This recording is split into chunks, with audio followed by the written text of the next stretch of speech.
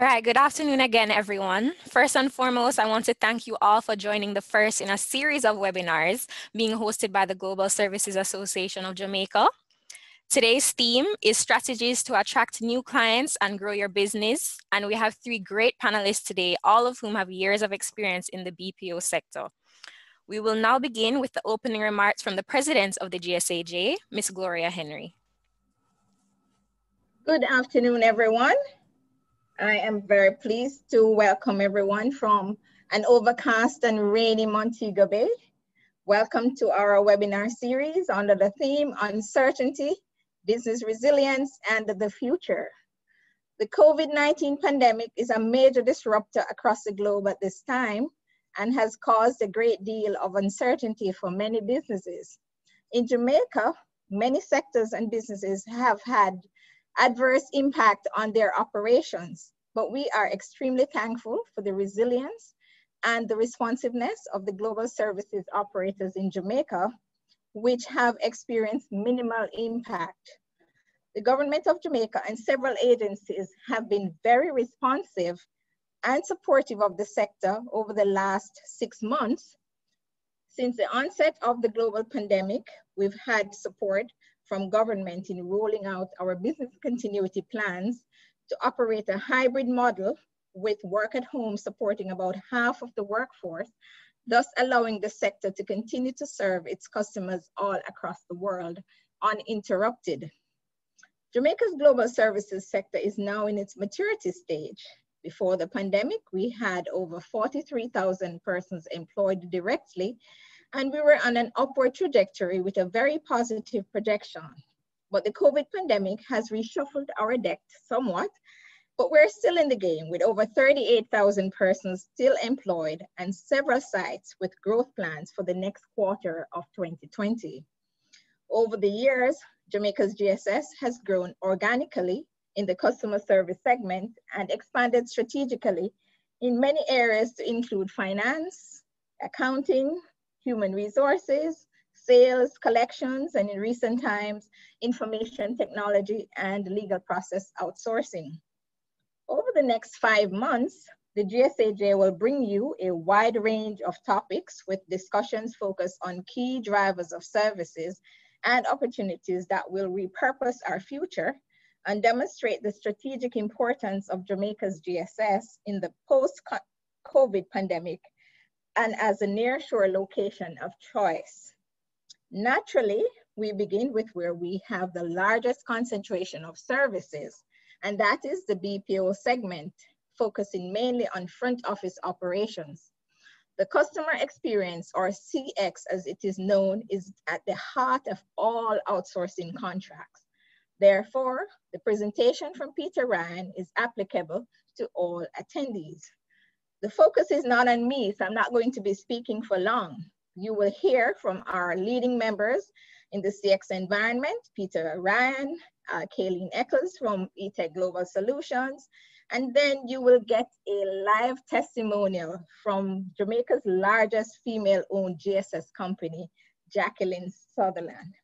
Today's webinar is supported by Callie Reed, who is, will introduce our presenters and moderate the Q&A, and Karen Shields, who is the official organizer of these events. Thank you for registering. We are here to serve you and happy that you have joined us and look forward to your participation in the next hour and a half. Thank you very much. Thank you, Ms. Henry. Before we begin, I just want to note to all our attendees that we want this to be an interactive session. So as we progress, if there's anything you'd like to ask, the Q&A option in the webinar will be open throughout the presentations, so please don't hesitate. You can ask questions generally or direct them to a specific panelist, and the questions will be answered at the end of all presentations. So without further ado, I'd like to introduce our first panelist for the afternoon, Mr. Peter Ryan. Before I do, I just like to note that we will also have a poll which will pop up during the presentations as well. So please feel free to participate. So Mr. Peter Ryan is the principal and chief analyst at Ryan Strategic Advisory. He has been at the forefront of contact center services market advisory for over a decade.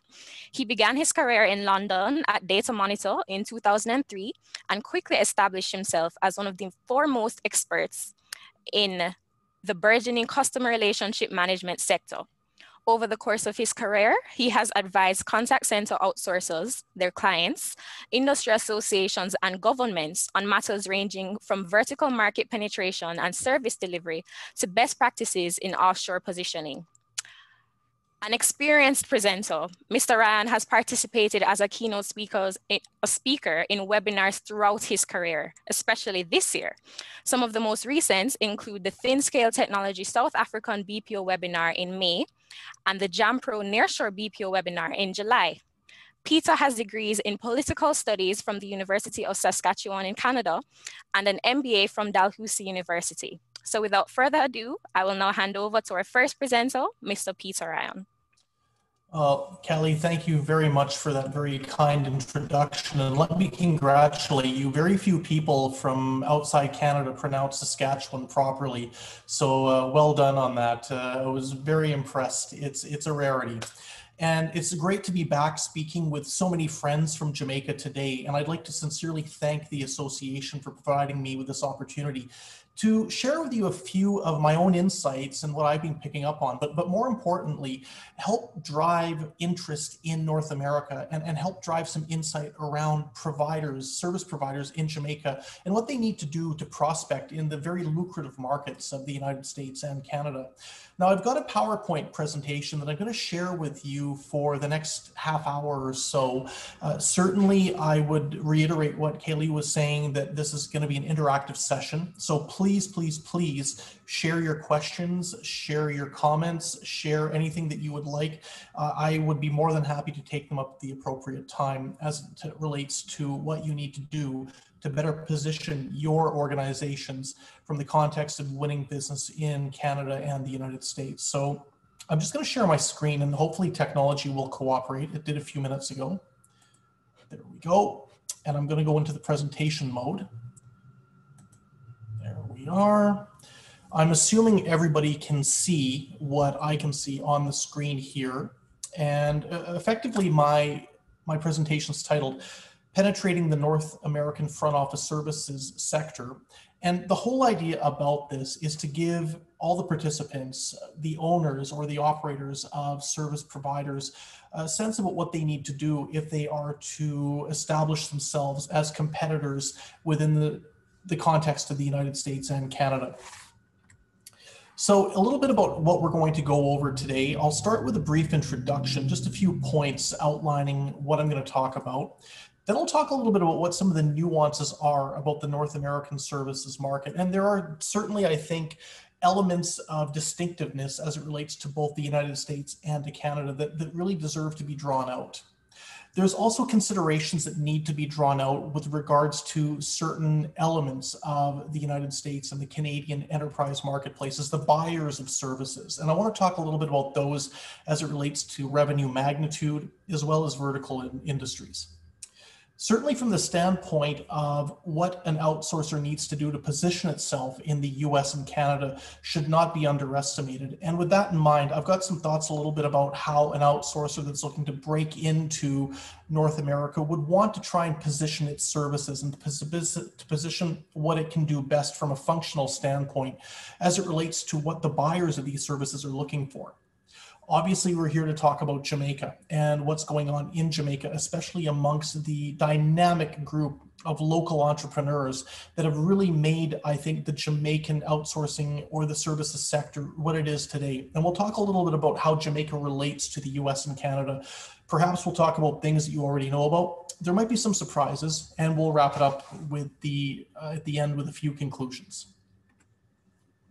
So just to start out, North America, as far as I'm concerned, presents a very solid opportunity for providers of services in Jamaica. It is, is truly a market where I think there's a lot of opportunity. There's a lot of chance to go out and win new business. And I think that one of the reasons for this is because of the fact that both the States and Canada are in the midst of a fair amount of disruption when it comes to how customer experience is delivered. And as Gloria mentioned, we know that CX is such a large part of what's going on in the services space when it comes to Jamaica. And it's so important to recognize about how these alignments can be found with the North American buying marketplace. We also know that shrinking budgets and that the budgets aren't necessarily as robust right now as they might have been a few years ago when it comes to managing the captive or the enterprise customer experience elements. And this is something that I think providers in Jamaica need to consider as, as a great opportunity in terms of how they position themselves. But also positioning themselves with regards to the right industry is going to be so, so crucial. Go after the industries of the lowest hanging fruit. And we'll talk a little bit about some of these and how they relate to Jamaica. I think from the standpoint of favorability, Jamaica is in a relatively enviable position right now when it comes to the United States and to Canadian buyers. It's a well-viewed location with a great track record. It's important when going out to win business in North America, whether it's in the US or Canada, to emphasize the strengths that Jamaica brings to the table from a services perspective on a frontline basis. And there's no question, there's many of them. But there's also misconceptions. And with the misconceptions in mind, it's important to consider what these are and to get ahead of those in order to exercise them from the minds of buyers before they become a problem or an obstacle to winning new deals. So with some of these introductory remarks uh, out of the way, what I'd like to do now is move into the, the gist, the, the meat of my presentation by starting with some of the nuances as it relates to the services market in the United States and Canada. So first of all, let's talk a little bit about frontline services. And I thought I'd taken the animation out of this, so I'll just very quickly uh, put it up on the screen. Apologies for that.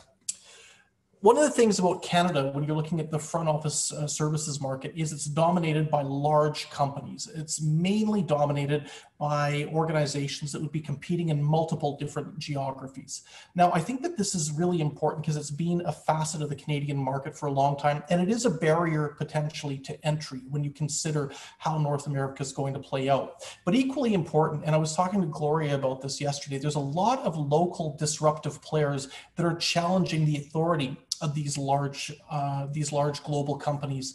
And that's actually good because it's making the market more competitive and it's opening it up to competitors or to providers that might be in locations such as Jamaica I think that when we take into account the fact that Canada's got a very conservative, uh, very conservative buying nature, enterprises tend to go with what they know. They tend not to go necessarily with uh, new or what they would perceive to be exotic solutions or exotic type uh, deals that are brought to, to the forefront when they're looking to try and figure out their CX strategy. They want to go with what they know. They're, they're very happy by going with a strategy that's worked for them before.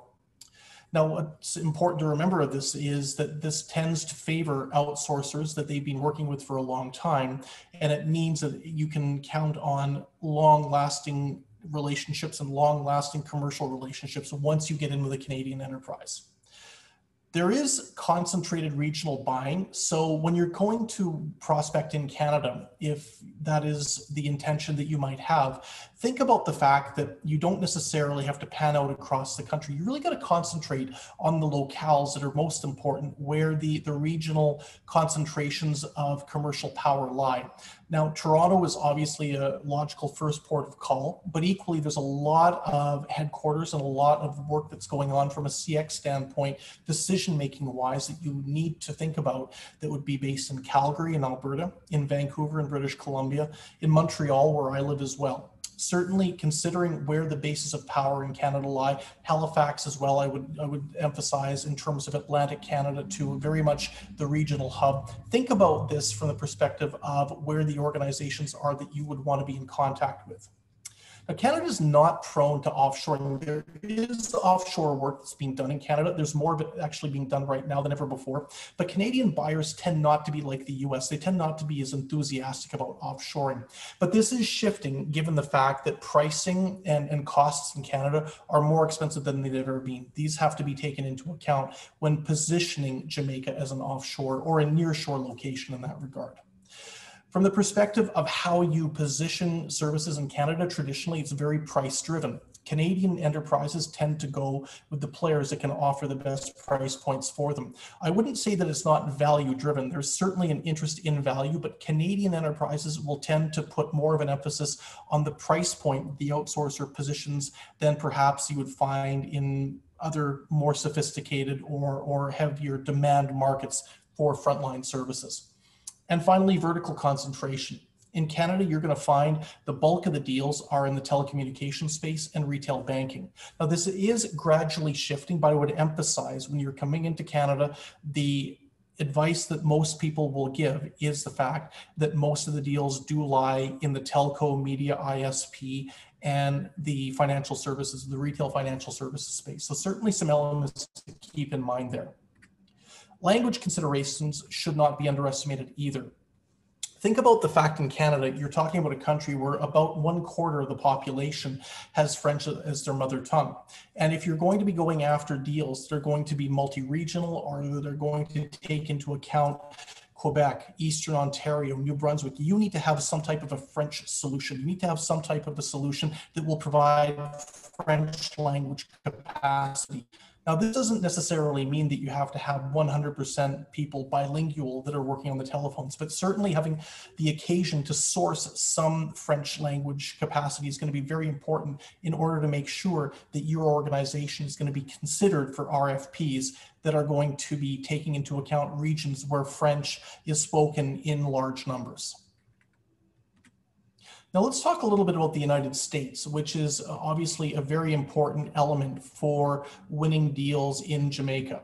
And again, apologies for the animation. I thought that this had been removed. Apparently it hasn't. One of the things about the United States, I would say from a frontline services perspective for any organization that's looking to try and win CX deals in the US, work at home has always been a big issue, but it's an even bigger one now the United States effectively, I would say, pioneered the work at home model, and enterprises are very interested in terms of being able to leverage a provider that's got not just the frontline talent, but the expertise and who understands the science of virtual delivery.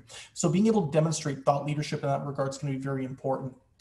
Equally, I would say there's a, a huge of smaller local players in the United States that are going to be competing for deals, significantly more than you would find in Canada. There's a very robust mid market and smaller emerging market of outsourcers or services providers. So just keep that in mind in terms of the competition that you're likely to find as you come into the United States. And I also think it's important to recognize in the States, in the United States, there's much greater interest in terms of working with third parties, more so than in Canada. So keep in mind the fact that you're likely to find a, warmer reception as you go into American enterprise offices, as you meet the CX leaders in the United States. They're likely to be much more open to doing outsourcing or to doing third party service delivery than you would find north of the border in Canada. From the standpoint of regional buying, obviously very important too. What you'll find is that not just there's multiple commercial centers in the US, but there's a lot of organizations that are perhaps state-based or regionally based that will be buying services particularly for one or two or three or four states, not necessarily big pan-American deals, but certainly smaller, more regionally driven ones that can be a great entry point in terms of gaining a foothold in the United States as a demand market and being able to develop referenceability with an American client.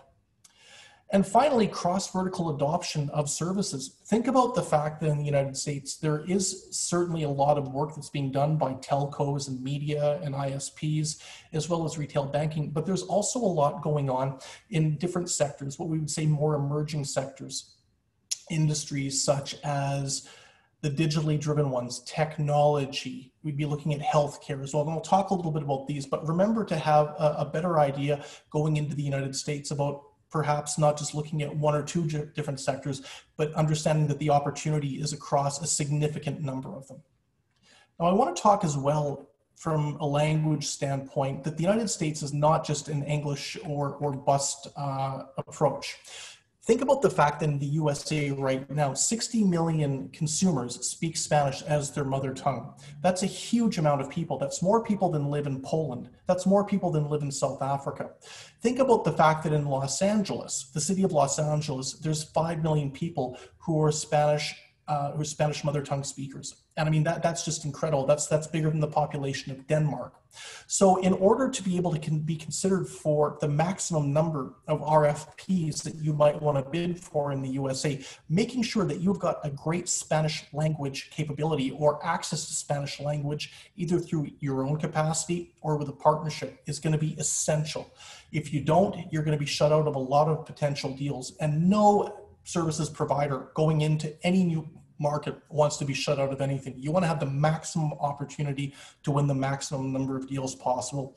In the United States, this means having some access to Spanish and being able to provide fluent Spanish in order to service this very important uh, US Hispanic community, which I might add is the fastest growing single language demographic in the country and which has seen a significant rise in household incomes over the course of the past nearly 30 years. It's effectively double. Uh, I actually recently wrote a blog on this just a few days ago. So if anybody wants to log on to ryanadvisory.com, check the industry commentary and you'll see a little bit more insight around this. Now let's talk a little bit about what some of the frontline services considerations that you might want to think about are in the North American context. And I think that as we go into this, there are a lot of different elements that you need to take into account. I spoke a little while ago about what it means for servicing different market segments. And I wanted to go into a little bit of a deep dive on this, uh, especially talking a little bit the initial point about industries. Now, I don't rate all industries the same in terms of where the opportunities lie. In my opinion, certain sectors are going to be more opportunistic than others. And those are the ones that any Jamaican services provider that's looking to try and gain a foothold in North America needs to consider, needs to take into its consideration in regards to what it wants to go after first in an ideal world, we would all go after every market with the same level of enthusiasm, energy, and resource. But we understand in business, it's just not that simple. So, my recommendation as you look at North America would be to prioritize the following six sectors born digital industries. Now, the most logical examples of these would be Uber or Airbnb, but there's literally dozens, if not hundreds, of these types of companies that are playing in the North American market right now. The individuals who found these companies and who run these companies are passionate about what they do. They're passionate about customer experience, but they're not passionate about delivering customer experience. And they are much more open, by my experience, to working with a third party than perhaps having their own operations in house. The technology space has been a proven sector in terms of the opportunity to try and drive new contact center or new service provision deals on a frontline basis. They tend to work with providers that are both domestic as well as ones that work in the near shore or the offshore, and they tend to like to diversify the services providers that they use. So certainly, again, technology firms, whether it's software, whether it's hardware, whether it's consumer technology, absolutely essential to go after for some great opportunities. There's no question e-commerce has taken off like uh, nobody would have ever believed over the course of the past six months. But let's not fool ourselves. This has been on a steady march forward, and e-commerce organizations tend to understand more than most that good customer experience and good CX management is crucial in terms of driving the loyalty they need to have repeat business. So certainly going after e-commerce organizations, whether it's uh, the e-commerce division of a retailer or perhaps a, a pure e-commerce company on its own, very, very important in that regard. I've talked a little bit about regional banks and credit unions, and I, I use this um, example at the bottom with the home and the piggy bank. I'm not talking about large scale banks that would be working across Canada or that would be working across the USA. Rather, I'm talking about perhaps small networks of savings and loans or credit unions that are facing probably more customer experience pressure than they've ever had before and are desperately looking for a partner to help guide them, not just in terms of delivering the frontline service, but also in terms of providing with a blueprint in regards to where their customer service and their customer management strategy needs to go. Healthcare, I will say, is a very important one to consider too. Now, I will not say it'll be the easiest one for any organization that's not used to working in this space, but healthcare is definitely one. If you can tick all the compliance boxes, you'll find that healthcare clients uh, certainly would consider at least some of the, the more routine or transactional work uh, provider in the near shore, like Jamaica, as an opportunity for them. And I'd stress that that would be more on the American side, where there's a much greater level of, of private involvement than in Canada, where it tends to be more focused around in-house captive employees. And finally, regional telcos and internet service providers. Certainly, you cannot underestimate the fact that the, there's a great deal of growth with deregulation. There are more smaller startup organizations that are setting themselves to, for success, but desperately need to move at least some of their capacity from a CX standpoint to a services provider to be able to provide them the assistance they need to generate great interactions and thereby generate loyalty. So there's six industries I would strongly recommend that every participant from Jamaica consider. And there's also some here that I will say will be challenges. Obviously, travel and tourism is is really, I, don't think, going to be uh, in any great shape for working with providers that can uh, handle large volumes of interactions anytime soon. Making sure that you've got a good travel and tourism strategy for when things return to some type of normal will be important, but don't expect any great opportunities for the time being. Higher end financial services will tend to keep whether it's brokerage or insurance, they tend to try and keep a, a lot of this type of, of work in-house. If they do outsource, it tends to be with larger organizations that have a great deal of experience and that are compliant in regards to the regulation. Not to say that you shouldn't go after these, but just recognize this will be a long play as opposed to perhaps one of the more opportunistic ones. National retail banks, I don't recommend in North America. They tend to be very aggressive on price. They tend to be very tough in terms of profitability. They are volume plays. They're not necessarily ones that you can expect a great deal of margin on. And the same goes for large telcos. One of the things I keep hearing from organizations when we talk about vertical opportunities in the US or Canada, the first thing they'll say is avoid the telco space. You will not make any money. And this is not a, an approach that any new services provider looking at North America wants to consider. The government's not going to do any work with an outsourcer in the offshore and nearshore. This is just not realistic, and there's no point, at least in the near to medium term, looking to try and win business from Canadian governments, whichever it may be at the provincial or federal level or municipal, and the same goes in the US, state level, national, or municipal. It's not worth your while. It's not worth the stress and the aggravation. And neither are utilities. Utilities have been deregulated, but there's still a great, great influence, uh, especially amongst the unions and keeping this work in house. Uh, I would stress that while perhaps there might be some niche deals out there, it's best to try and focus on the verticals we've talked about in the previous slide as opposed to utilities or the other five if you're looking to try and enter the US or Canadian markets anytime soon. I want to talk a little bit about the situation when it comes to investment capacity in the US and Canada. One of the things that Ryan Strategic Advisory does each year is we run a buyer survey, an enterprise survey, where we talk to CX decision makers within different organizations across different sectors. And I broke out the results for the US and Canada in order to try and find out a little bit about what the buying community, what the CX buying community was saying in terms of their own budgets. And what we can see here is the number of organizations or the proportion of organizations in both the states and Canada that indicate that they are likely going to see their CRM or their contact center or their CX budgets stay flat or decrease over the course of 2021 is quite pronounced. Now, what this means is that when you take a look uh, across most of the revenue bands, smaller organizations from 10 to 250 million in revenue, all the way through to medium-sized firms, 250 million to 1 billion dollars, or large scale firms, 1 billion plus, you can see that most of these are going to be facing, facing quite a crunch. And with that in mind, going after these CX decision makers and talking to them about what you can deliver in terms of taking some of the pressure off their budgets by providing them with the people, the processes, and the technology in order to help generate loyalty on the back of great interactions that are delivered from Jamaica. There'll certainly be, I think, a very great resonance in terms of this buying community that are significantly under strain, where they're seeing their budgets that have been slashed probably over the course of 2021 with the course of the pandemic and how it's gone, and are very likely to see this continue as a trend over the course of the coming year and perhaps going in further. So definitely being able to position the added value you can drive in the face of their captive constrained budgets is a great, great strategy in that regard. Some of the pain points that Canadian contact centers, Canadian captive contact centers are looking for, we'll take a look at what some of the top ones are.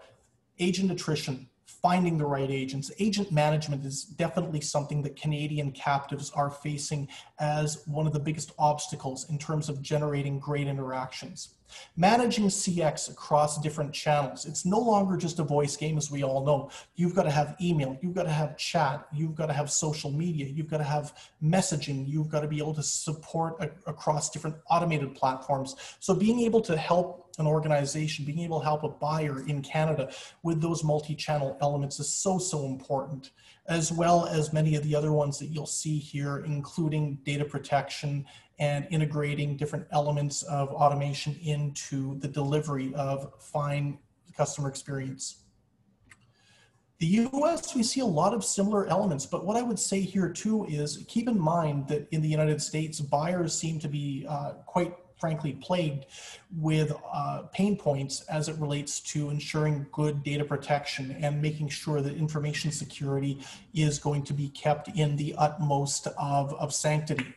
Equally, the, the channel management we see in the United States certainly plays out, as do the supporting the changes that might be popping up with regards to the products and the services that these organizations are supporting from a captive operation. So all these elements combined, I think, indicate that certainly while captives are doing their best in the USA, there's a lot of elements that they do need to try and overcome in order to be better, which is going to be much more difficult when they've got constrained budgets, so they don't have the money to invest in the technologies or into refining the processes or into finding the best people and keeping those best people. This is something that an outsourcer in Jamaica is in a great position to help these organizations in the United States or Canada with.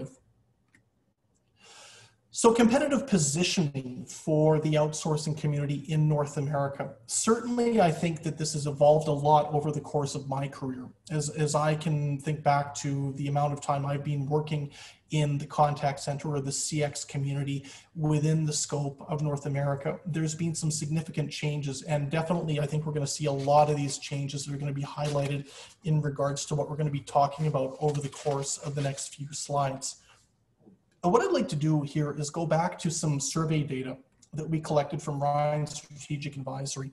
One of the questions that we asked the respondents, these decision makers who are based all over the world, and what I've done is I've broken out results for Canada and the United States, but we asked what these buyers, potential buyers, of services, frontline services saw that, an, that a BPO or a service provider had to have in order to win their business what we can see in Canada, certainly being able to manage compliance and information security are, are two very, very important elements in the top three. And this should come as no surprise how many times over the course of the past few years have we heard about hacks into databases with personal information stolen? Has become an epidemic, unfortunately. And being able to work with an outsourcer that has experience in terms of managing the regulation around security and information security and be able to lock that information down in as tight and secure an operation as possible is so important. But equally in Canada, it's also important to be able to demonstrate referenceability. And you'll remember when I talked about the nuances as it related to Canada, we certainly understand that from the perspective of Canadian buyers, they like to work with a provider, a services provider that's got a great track record and a great level of, of authority in the marketplace. And that counts with referenceability. Being able to show solid client references, being able to show that a solid track record is there will certainly do well for any Jamaican organization that's looking to come and try and work in the Canadian context. In the United States, we see, uh, uh, frankly, a lot of similarities, but we do see some differences in terms of what the main priorities are for working with a service provider or finding a service provider. Obviously, data protection provisions and experience providing information security, very important. But equally, I would say that uh, managing home-based agents is a definite advantage and something that every Jamaican organization looking to play in the US should consider their own track record, what they've done, and how best to promote any experience or any success stories that they might have in the United States in that regard. And equally being able to emphasize expertise, subject matter expertise, in customer care delivery. That is essential, and it should be something that everybody considers to be a priority on this call as they look to try and move into the US. And the referenceability certainly plays out a lot, I think, too. Being able to demonstrate a great track record, to be able to hold up case studies about work that you might have done with a client, perhaps an American client, or perhaps a client that might be based elsewhere, but certainly demonstrating that you've got experience, you've got expertise, and you've got a track record of driving great interactions will go over quite well in the USA. So to sum these up, to sum up some of the client acquisition strategy elements that you might want to take into account. Obviously, some commonalities we see across the North American market is that compliance and information security certainly count for a lot. Multi-channel capabilities also are very important. The recognition, as I said, that it's no longer a voice or bust game.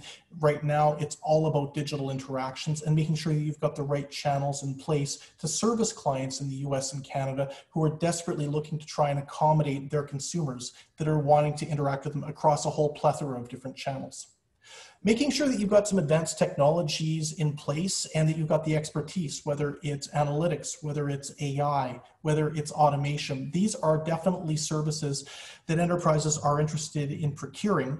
There are definitely services that they want to try and bring into their own CX strategies, but they're not necessarily ones that they want to take on themselves or that they want to hire people for. They'd much rather work with the services provider. So being able to demonstrate that thought leadership and that understanding will be essential, as well as having those services ready to go.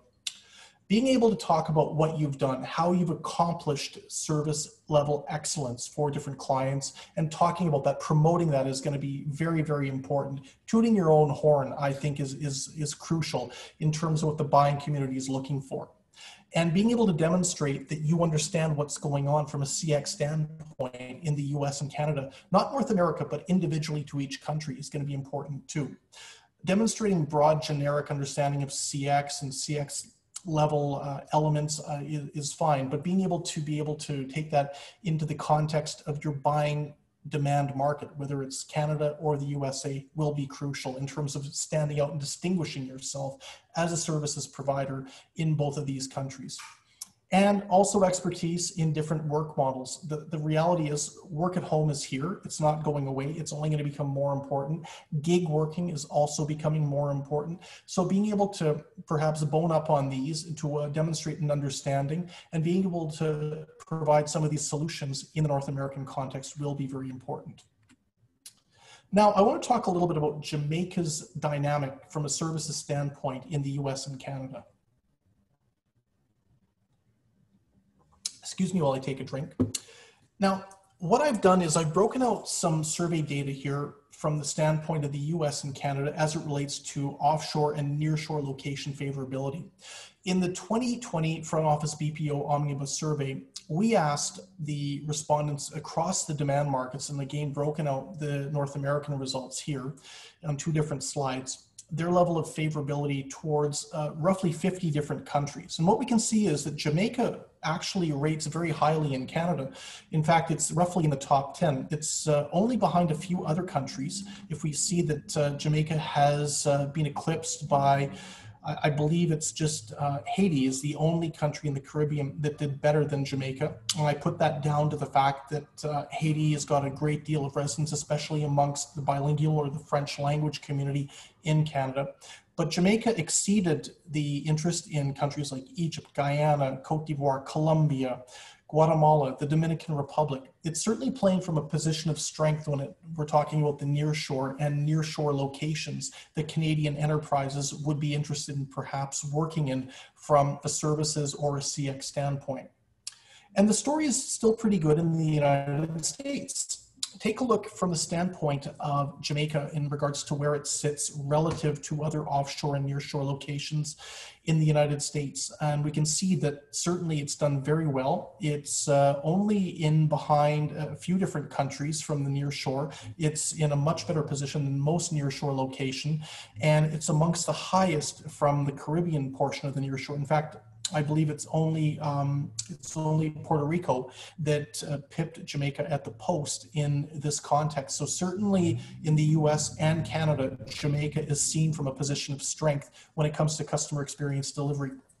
And I think a lot of this has to do with the fact that Jamaica has got a great reputation in terms of its local services providers, as well as some of the global ones that have moved in over the past decade or so and done exceptionally well in terms of providing high levels of interactions to consumers in both the US and Canada. So I thought what we do now is we talk a little bit about what some of the different elements are in regards to Jamaican, some of the perceptions of Jamaican frontline service delivery by buyers in the US and Canada. Well, I think it's seen as a very accessible country. It's a country that's not difficult to get to, and that's going to be important from the standpoint going forward, as I just don't believe that buyers in the US and Canada are going to want to spend huge amounts of time flying to Africa or to Asia like they used to. It's an established location that's got a proven track record, and that goes over very well in both the US and Canada. The fact that you can get great value and great quality interactions from Jamaica, I think that that goes without saying. It's a no brainer. It's an understanding that you can do transactional work in Jamaica, but you can also do that value add work that brings more margin into your, into your services operation. It's got a great stable delivery climate. Jamaica is not a location where I think there's a lot of concern about disruption, whether it's economic, political, or, or socio. We don't necessarily see Jamaica as a spot where people bring those worries up. It's got a government that's been demonstrated, I think, that it's pro business, it's pro commerce, and it's also very pro services sector. And I've had the chance to meet the prime minister in Jamaica at a, services related event, and certainly he spoke very, very passionately about his vision for developing this industry in the country. And I think that that's a great, great asset that you've got on your side that you can deliver from several different points in Jamaica, I think is important too. The fact that you've got Montego Bay, and I know many, many people from Montego Bay are on the line right now, as are from Kingston, but also other communities are demonstrating that you can be disruptive and you can deliver CX frontline services from these communities. So, so important the domestic industry and the fact that you've got so many entrepreneurs that are on the line today, as well as ones that are demonstrating the value that they can bring to the marketplace, also I think is a great advantage in terms of demonstrating the dynamism that you can find in Jamaica on the ground. Now, some of the concerns that you do hear mentioned around Jamaica the fact that there's a view that it doesn't necessarily have the same scalability that other locations would have. It is smaller than many other countries in the near shore or the offshore that there is concern about weather related issues specifically. Uh, we do hear that a lot and, and what that means in regards to disrupting service delivery over the course of a campaign. Jamaica is seen as a great English language location, no question about it, but it's not necessarily associated with secondary languages, French or Spanish, which we talked about, are both so important in the North American context that perhaps is a little bit more expensive than what you would find in Asia or certain African countries as well. It's seen as a pricier option, a higher value option, but certainly one that perhaps is more expensive. And that might be off-putting for some for some clients that are looking at a variety of different spots around the world. You do hear concerns about crime, that, that uh, Jamaica is perhaps not as safe a location to visit or to do business in as other locations. I'd stress that this is a perception. I've been to Jamaica many, many times and had no issues. I've always been welcome with the height of courtesy. Nobody's ever given me any trouble. And I think that that's been the majority of the cases, an overwhelming majority. But there is a perception from people who don't know the country that it perhaps might not be safe from a petty crime standpoint. And it's one of many options in the Caribbean. When you talk about the Caribbean, there are many countries from which to choose. And how best to make Jamaica stand out? That's going to be a challenge when you've got more options that are popping onto the board. So just to wrap up, and, and again, thanks to everybody for their patience and for their interest. It's been great being able to, to give some of my thoughts in regards to the experience I've had with the buyers in North America and as, as it relates to my friends in Jamaica. Obviously, Canadian US buyers are very distinct. Each country has their own pain points and their own drivers in terms of CX. And I think that Jamaican providers who are on the, the line today need to consider the fact that these two countries are distinct when they're fashioning their marketing and their business development strategies making sure that for North America in general, having a good mix of transactional and high value functions is going to be important to come out with a very broad services portfolio to satisfy what clients in both countries need. And I also think that understanding the right sectors, and we talked about the, the ones that are more opportunistic versus the ones that perhaps aren't necessarily as attractive, are important to understanding where you need to go first in regards to what organizations you want to target for your services provision. The I think in terms of the pain points, understanding what the pain points are in regards to customer experience management uh, are very important too. And being able to tailor your strategy and tailor what you have to offer with regards to some of the, the challenges that organizations are feeling right now in the US and Canada from a CX perspective. Obviously, Jamaica plays from a position of strength relative to the US and the Canadian marketplaces. Certainly, uh, seen as a very high value location, and that was reflected in the survey data that we brought out. So something to keep in mind that you are uh, you are going in from a position of strength and being able to focus on those positions of strength, those elements of strength as it relates to service delivery from Jamaica will do you a lot of good. Being able to prioritize what is seen as important in Jamaica from a perspective of what you do well, but also confronting misconceptions, of which there are some, and we've gone over, and being able to effectively exercise those misconceptions and getting in front of them before that becomes an issue when a potential client is looking at a Jamaican services provider versus one from another country. Uh, being able to make sure that they don't have those misperceptions in place will be crucial in terms of being able to win business. So with that in mind, I will leave it open to any questions probably towards the end, but I'll stop sharing my screen. And again, thank you very much for the opportunity. Thank you, Mr. Ryan. So as he mentioned, the Q&A is open for questions. I'd now like to introduce our second panelist for the afternoon, Ms. Kaylene Eckels. She is the Chief Operations Officer at Etech Global Services, which is one of our leading members in the CX environment. Ms. Eckels boasts over 20 years experience in the contact center industry. During her tenure at Etech, she has served several leadership positions, including Director of Operations, AVP, AVP of Global Operations, and Vice President of Global Operations, and since February of 2017 has served as their COO, with competencies in quality assurance, strategic planning, operations management, and training with a focus on contact center operations. Ms. Eckels, under her leadership, has continued to raise the bar and deliver on stakeholder and customer commitments, delivering consistent year-over-year growth at Etech. She's passionate about leadership and living Etech's vision, which is to make a remarkable difference for each other, our customers, and within our communities. And in 2019, she was recognized for her leadership, earning a Silver Stevie Award for Woman of the Year in Customer Service. So without further ado, I'd like to introduce our second panelist, Ms. Kaylene Eckels. Thank you, Kaylee. Good afternoon to everyone. I want to thank Gloria and the GSAJ and our, our talented uh, presenters today, uh, experts Peter and Jackie, and all of you for having us here with you. So just a, a little bit about Etech. Who is Etech? Uh, we began our journey in 2003 with just one center in Nacogdoches, Texas, where I'm joining you from today. And um, over the, these past many years, we've grown to eight sites plus one client site actually, 3,000 team members, uh, no mergers, acquisitions, and we're proud to, to serve our customers as, as trusted advisors um, to these Fortune 50 companies. Uh, we have three divisions at Etech, our traditional contact center solutions, which you may be familiar with, um, also, Etech Insights, which uh, is led by Jim Iyoob, our Chief Customer Officer. Many of you may know Jim, and I, I think he's with us today.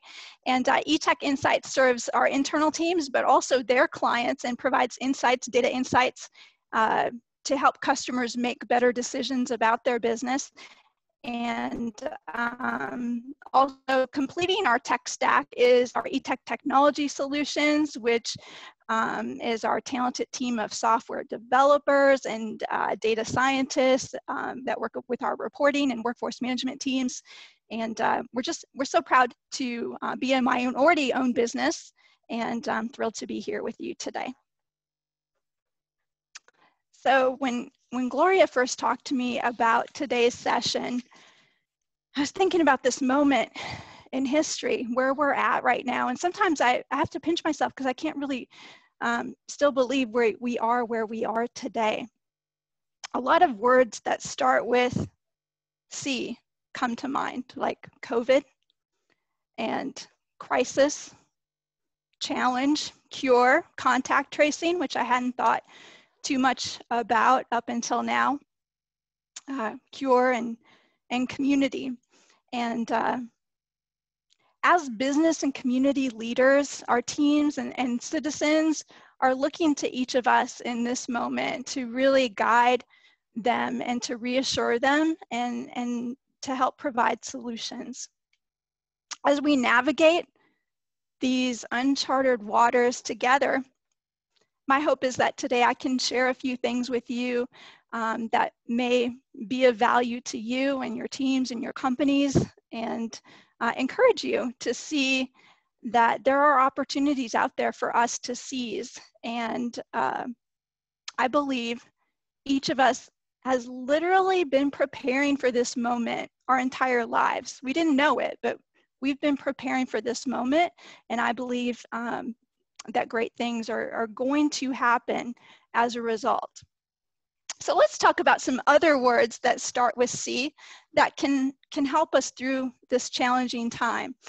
And uh, those are up on, on your screen right there. Clarity, communicate, create, creative or creativity, connect, and care. So the first one being clarity, and I have our priorities up uh, in front of you. we've probably all spent countless hours making sure that our teams, just business as usual, know what we do, how we do it, and why we do it. I know we have at Etech. Uh, that's just business as usual for us. And then you know, 2020 happens and bam, right? It was early Q, Q1 and you're probably watching the news like me and you're seeing um, reports about uh, COVID, and um, it, it was almost like a wave, watching a wave come at you, and just really not knowing what the full impact of it would be. But we knew that this was something different. Something something different was happening, and we needed to respond in a different way. And I have to say, I'm really grateful for the leadership of our president and CEO, Matt Rocco, because he quickly stepped in and he established four key priorities for our business. And um, with so much uncertainty in the world, uh, we knew that we had to be really clear about what, as a company, that we needed to do and how would we guide our decisions. So he created this video message. It went out to our entire team and um, we quickly worked then to cascade that over and over and over again. So everybody knew what our priorities were in this moment. Since March, these priorities, they've had a seat literally at the table with us as we make every decision. We're asking ourselves, is this in the best interest and safety of our team, their families? Does it protect the livelihoods of our team? And are we being there for our customers and their customers in this moment? And again, these priorities would be unique to your business, but I would just say that clarity is one of the most important things that we can do for our teams in this moment. The next C that uh, came to mind was communicate. And uh, I love this quote by Jon Gordon. He's an author. If you don't know, he, he has written some great books, one of them, The Energy Bus. And he said, communication builds trust Trust generates commitment. Commitment fosters teamwork, and teamwork delivers results. And isn't that why we're all here? Um, is because someone trusts us to deliver results for them. COVID isn't it, it isn't a secret. Crisis is not a secret. People have been bracing themselves, trying to figure out what's next, what's going to happen next, what do we what do we need to do? And that's why it's so important for us to make sure that we're communicating. Um, in the absence of consistent and clear communication, negativity will fill that void. Misinformation will fill that void. You know how the rumor mill works within your companies. And so clarity is so important and, and communication, I would say is number two uh, of importance. We knew that we had to be intentional in our communication. Um, truth can be hard. Uh, it can be uncomfortable, but it's easy to remember and it's easy to be consistent with and it's easy to engage then other people to help help us with um, creating solutions. And um, so i just encourage you to communicate and not just with your team um, but with your customers and have that open dialogue with them your stakeholders up the line down the line. Now more than ever communication is is critical for people. They need to know. The next C I thought of um, was creativity and being creative. At Etech, we talk about reinventing continuously. It's one of it's one of our favorite things. One, something that really drives and motivates a lot of our team. And boy, is this an opportunity for all of us to be creative thinkers. Uh, I love this John Maxwell quote. He says, We don't see these incredible opportunities first because every opportunity that you and I have is surrounded by a problem. I've never gone to an opportunity that I didn't have to go to the door of problems first.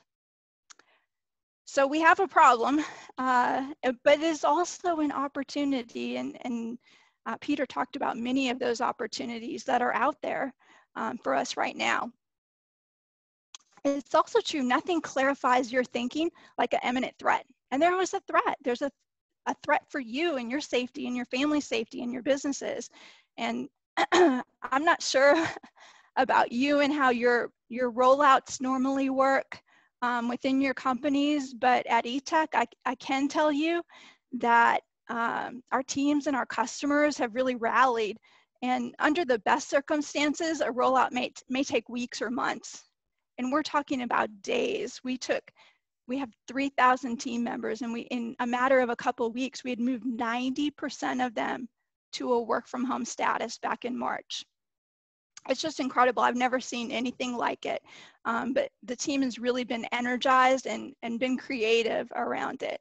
Just in Montego Bay, uh, we've had an incredible opportunity to pursue work from home, which is something new for us there. We've not done work from home in the past there, and the team has just done a phenomenal job. Um, and it's it's led to many benefits for us improved employee satisfaction, better schedule adherence and attendance, and better performance, quite frankly. And they've actually launched a new customer in this moment during COVID and tripled the size of that customer. The customer had a problem and our teams collectively at Etech delivered a solution and our Montego Bay team members were part of that great solution for this customer. They needed some geodiversity. They couldn't have all of their eggs in one basket, so to speak. And, and so this has been a really a great opportunity for us.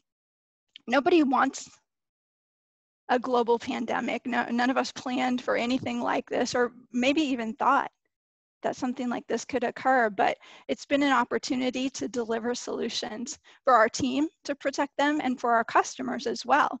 And, and I believe that this is something um, we're not going back. We're, we're not going back to normal. There will be no normal after this. We're continuing to reinvent ourselves and become stronger because of it.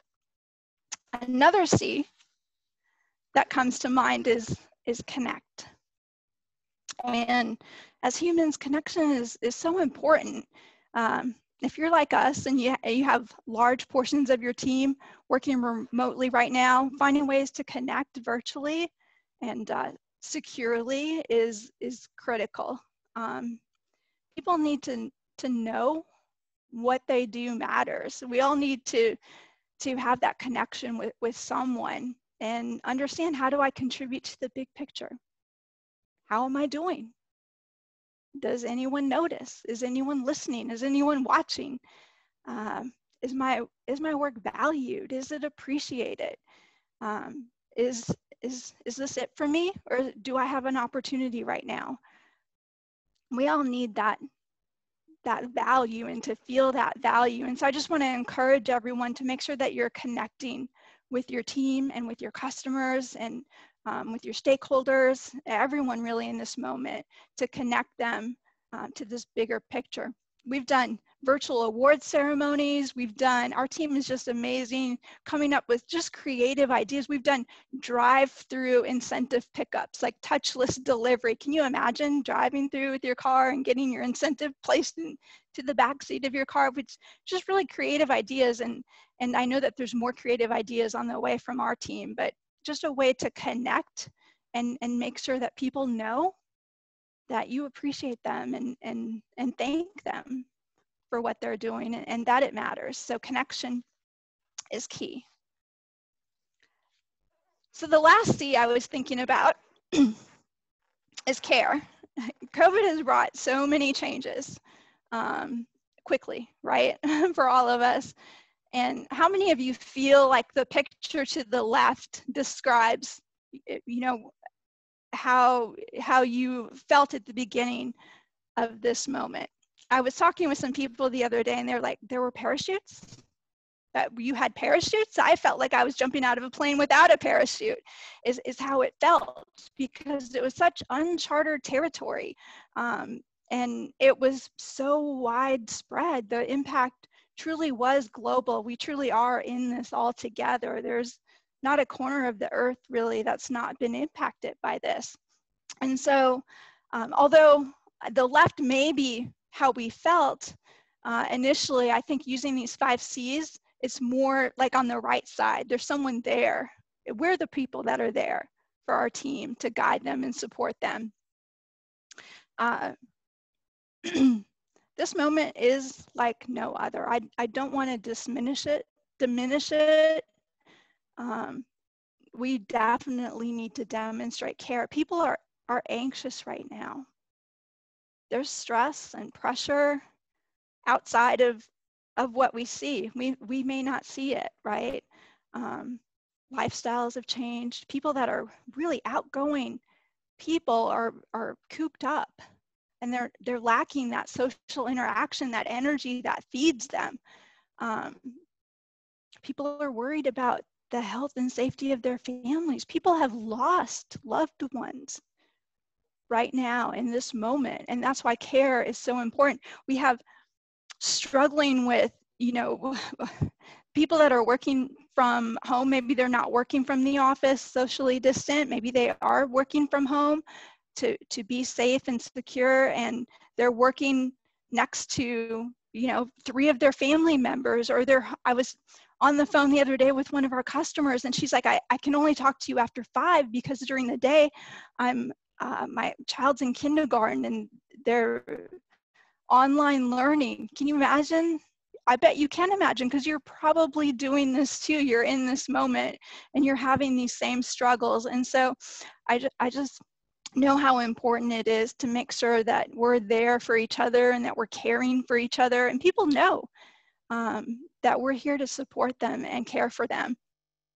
I believed you specifically have prepared your whole life for this moment. You may not think that you've been preparing for this moment, but you have prepared for this moment. And with clarity, communication, creativity, connection, and care, I'm confident that you are a solution for this moment. And uh, you're the one who can seize the opportunity lead your teams, your customers, your, your shareholders, your communities into a brighter tomorrow. And so I have no doubt that you will do just that.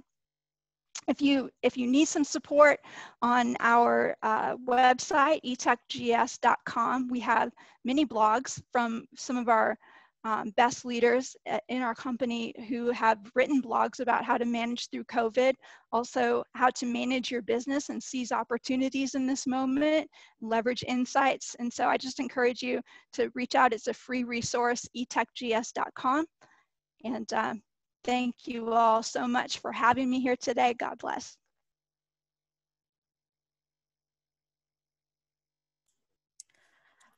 Thank you so much, Ms. Eckels. Um, for those of you who have asked questions in our Q&A, in the interest of time, we're having the presenters answer those questions and type them so that everyone can see. So please direct your attention to the Q&A if you asked a question to see the answer. Now we would like to introduce our third and final presenter for the evening, or afternoon, sorry, and that is Miss Jacqueline Sutherland. Ms. Sutherland founded Contax360 BPO Solutions in 2007, which has grown significantly and is considered one of the largest locally owned and operated BPOs in the Caribbean and Latin American markets. Ms. Sutherland, a native of Jamaica, has over 25 years experience in information technology and the application of contact center solutions and has applied her expertise in people and business management to lead the development of Contax360. Prior to entering the BPO space, Ms. Sutherland had an extensive background in technology, holding various levels of positions in Fortune 500 top companies, including Verizon, Bankrate, and NASA. Her executive experience, along with an education in math, computer science, and telecommunications management, provided a solid base for establishing a world-class business process outsourcing operation right here in Jamaica, with operations in the Montego Bay Free Zone. The company provides customer service, collections, telesales, tech support, chat, and back office services primarily to North American clients with services offered in the financial, travel and leisure, telecommunications, medical services, and statistical analysis industry. The company is also actively involved with the Jamaican government's efforts to build the ICT sector and position Jamaica as a destination for clients requiring nearshore solutions. To this end, Contact sorry, 360 has partnered with international call center giants and helped to bring an array of prestigious clients anxious to tap into Jamaica's nearshore human talent. So without further ado, I'd like to introduce our final speaker, Ms. Jacqueline Sutherland.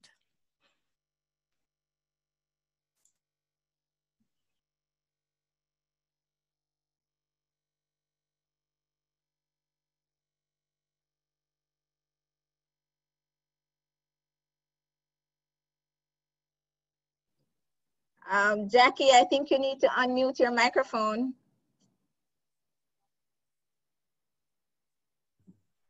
Thank you, Gloria. Let's try that again. Thank you, Karen. Um, as I was saying, um, Gloria had asked me to just talk fluidly about my experience in uh, the BPO sector. We've been here now for about 13 years and uh, we've had our challenges. Um, it's been a a tremendous opportunity to uh, support the BPO sector in Jamaica. And uh, during our tenure uh, in Jamaica, we've seen Jamaica make some tremendous strides. So glad to be here and part of this discussion and um, further the conversations about what uh, strategies we've employed to help uh, steer the ship on the right path as we, as we go through this pandemic together. Um, I was a perpetual student before uh, getting into my career. And when I made the decision to come to Jamaica and start a call center, I felt that the experiences that I had gained in America would well position me for um, providing. Initially, my thought was to provide IT outsourced services to Jamaica, but based on the trajectory for Jamaica at the time, traditional contact center services made a lot more sense. And my background in technology, coupled with the emphasis on customer service, was a good marriage between what was becoming a growing and flourishing BPO sector for Jamaica and being able to um, provide the appropriate infrastructure to support those needs. So, um, my while my initial vision might have been one thing, uh, as, as they say in Jamaica, I decided to wheel and come again and um, pursue not the technology aspects, but more of the customer facing um, opportunities for the clients that we serviced. So, um, being in this industry and being in this industry for 13 years uh, did not come without its challenges. So, we're not new to uh, challenges some of the things that we had to do in launching the business at that time was to work with the country to help overcome many of the misconceptions um, on outsourcing and help them to understand the value add that the BPO sector could offer to Jamaica. In addition to that, there were many financial obstacles because I don't think people really understood what the BPO sector meant at that time. Now, mind you, this was 13 years ago, so the dynamics have certainly changed. Um, real estate was not the easiest to come by. And for Jamaicans, we were overcoming a lot of the training and educational challenges to make sure that we were able to provide first world interactions.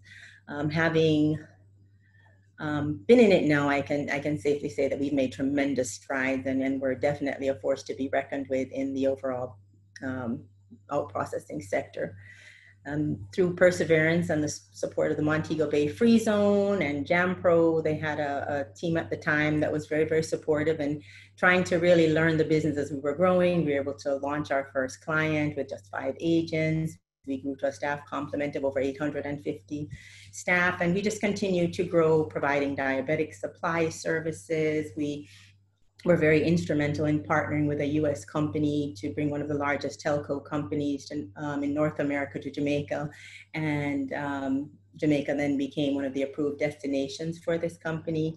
We became the online chat center of excellence, providing technical support for several large clients in North America, and just continue to um, grow in the BPO space. We had a strategic partnership with one of the largest BPO providers out of Canada, who, based on the growth of the industry in Jamaica, has also proudly taken up residence, and they're our neighbors. So um, we've seen a lot of growth and um, are very, and proudly watch the Jamaicans and all of my colleagues excel in this space. So while I thought I was a graduate of the lessons of lessons learned, nothing truly prepared any of us for a pandemic such as the one that we now face.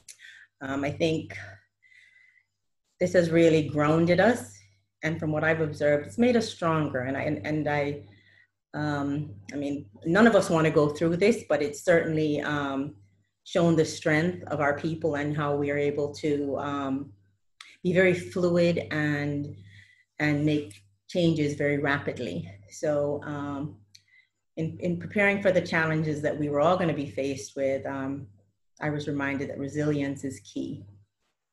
And I'm sure I speak on behalf of the entire sector when I say that the fluidity and much, much, much support that we got from the government, the free zone, and the GSA.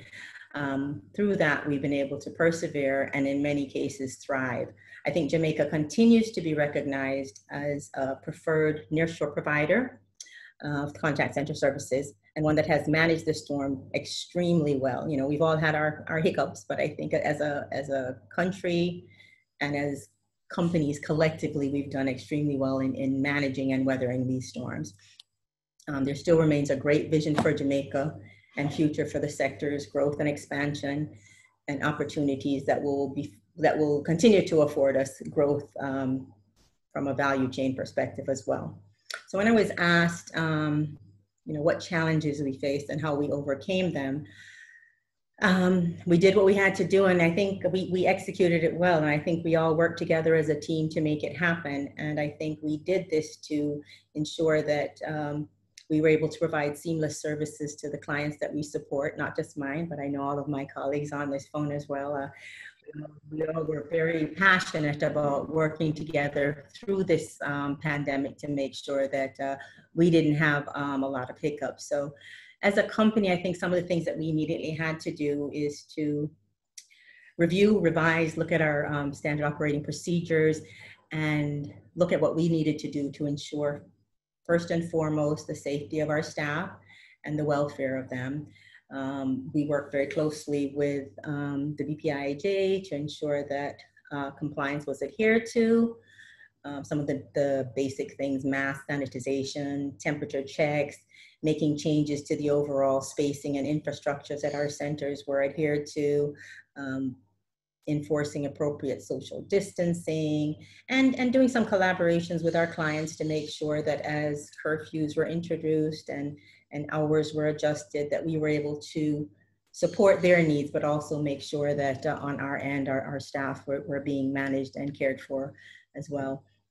Um, I know that Etech uh, managed to outsource most of their agents to work at home mode. And I think all of us had to quickly um, explore and implement technology to be able to afford that. We, at our peak, had outsourced, I believe, about 60 to 70% of our workforce to a work at home mode.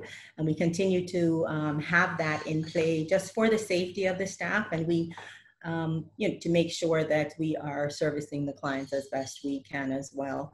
Um, some of the things in deploying the work at home agents that we had to look at was really not only enhancing our technology, but revisiting the productivity management, time management, realigning our expectations with our staff, and making sure that in doing all of these, there was no compromise to the quality of the services that we were providing.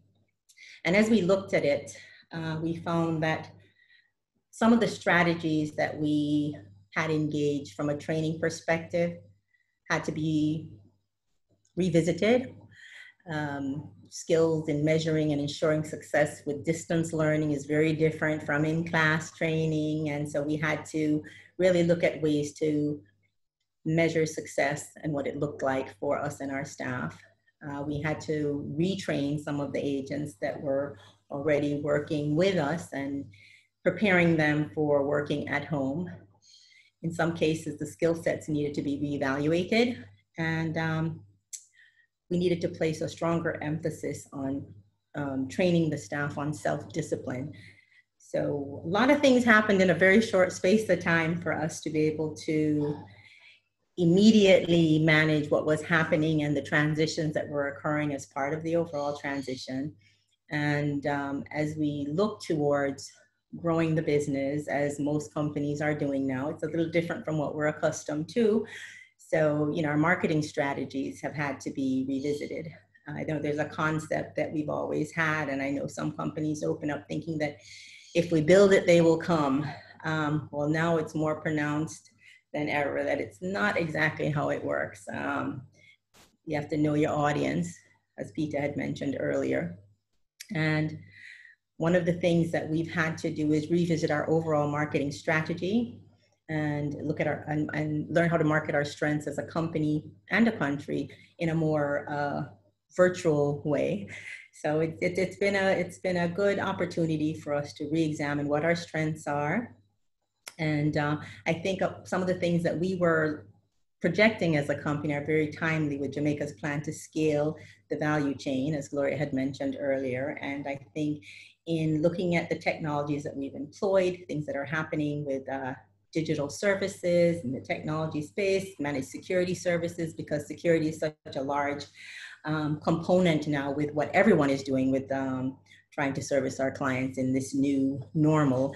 Um, it, it's very timely and um, we're looking to market that in a very new and unique way um, and tapping into our expertise and our core competencies. So we've had to take a step back. And um, while we had park technology when I first launched the company some 13 years ago, um, the advances in technology and the digital services that we are now um, seeing at the forefront of Jamaica's future um, are now coming back. So you know, old time something come back again, and here we are. So um, there's lots of possibilities in the future expansion into ITO, finance and accounting, legal process outsourcing are all very real and strong potentials for the things that um, can and should do and should be looking into as we move forward. So um, there's a there's a great great future for Jamaica in many different fronts, and it's something that I hope that we're all at the forefront of. Um, it's time. Some of the things that we're doing as part of our strategy is realigning our network of resources, um, revisiting this new normal. Now we're looking at ways to connect with our, our contacts more virtually than we ever have before. But uh, as we're doing that, so are they. So looking at new opportunities on their end means opportunities for us as well. So we're just being very very diligent about continuing to um, pursue these opportunities, you know, with, with the existing network that we have. Um, we're taking advantage of many of the certifications that we have as a company to pursue um, some opportunities that might not otherwise avail themselves to us. So we've had to really look at different ways um, to train, to market, and to prepare our staff for the for the near future and what we now anticipate will be for many months to come. So um, a lot of changes, a lot of things have been happening, but I, I as much as the pandemic has um, been very painful for all of us, I think it's really it's it's, ta- it's taught us a lot and it, it's brought us back to um, where we need to be and and and um, revisiting things as a company and how we should be targeting things as well.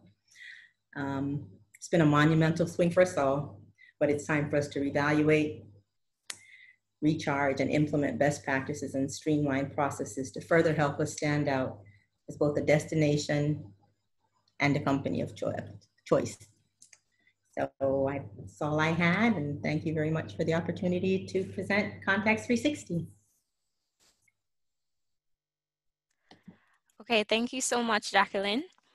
Uh, before we wrap up, we had some questions here. So in the interest of time, I'm just going to ask one per panelist. So Jacqueline, for you, from your experience as a contact center operator, do you believe in light of work from home that physical spaces may become obsolete? Um, I believe there's still a lot of value to having um, some staff work at home, but there is definitely an opportunity to um, expand our work from home opportunities and provide um, more flexibility for the staffing that we can afford to our to our clients by taking advantage of work at home. Okay, okay, thank you.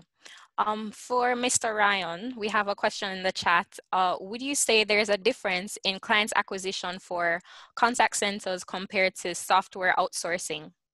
It's, it's funny because I was actually just typing an answer to it, so you must have read my mind. Um, yes, I, I, definitely think that there is a difference.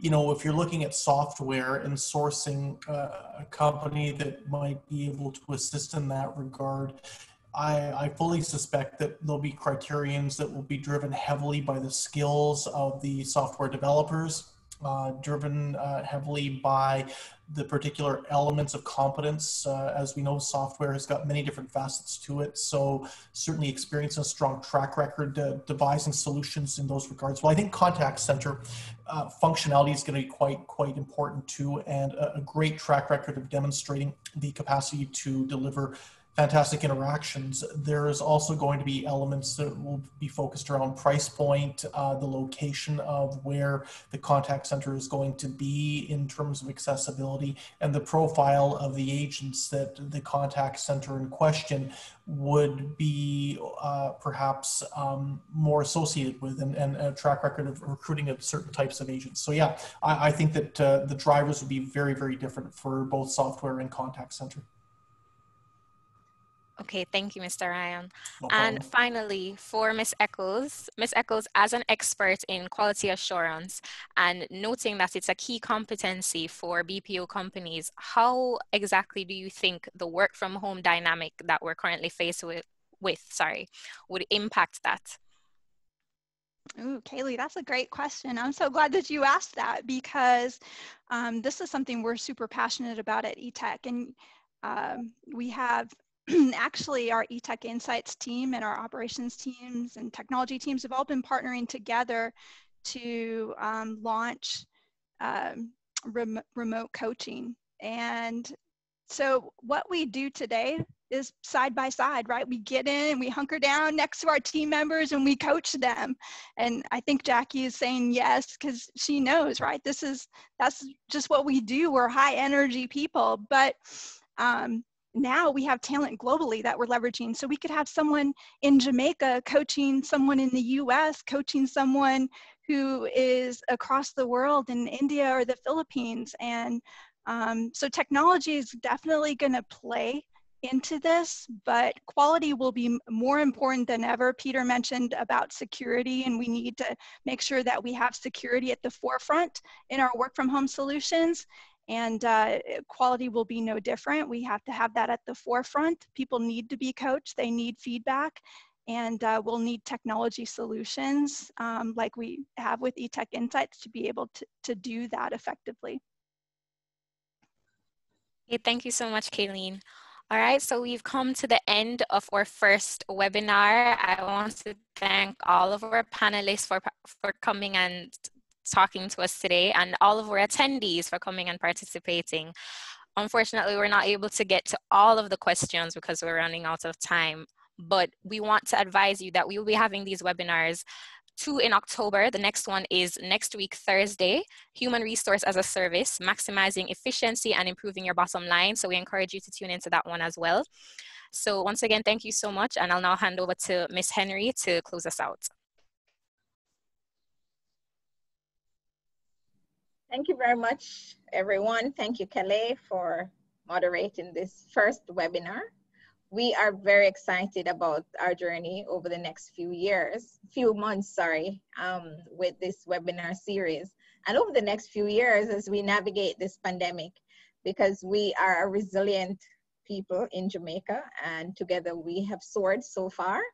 Uh, as I said in my opening, we ended the year last year with 43,000 employees and we our deck has been reshuffled so we, we've lost a few but we are on a journey to get back to that number and even more. And with your continued participation and support, we are definitely going to make that journey. So thank you very much, Peter Ryan. Very good, great presentation. Thank you, Kaylene, for the encouragement to our leaders out there. And Jackie, thank you for sharing your story. You are one of our successful ambassadors in this sector, and we continue to hear very good stories coming out of Contax360 we are looking forward to seeing you again next week for the HR Business Forum. And we have a very exciting and informative series lined up for you um, under this theme, resiliency, business growth, and the future. We expect that you will participate even more. For the next one, we're going to make sure that it's on YouTube and Facebook Live so that we can expand the reach and the participation. So again, thank you very much. Thank you to Karen, Karen Shields for the support and Kelly Reed for moderating this event. We look forward to seeing you again. Thank you and have a great afternoon.